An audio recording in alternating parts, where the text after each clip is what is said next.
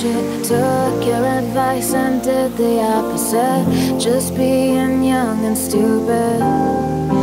Oh, I haven't been all that you could have hoped for. But if you'd held on a little longer, you'd have had more reasons to be proud.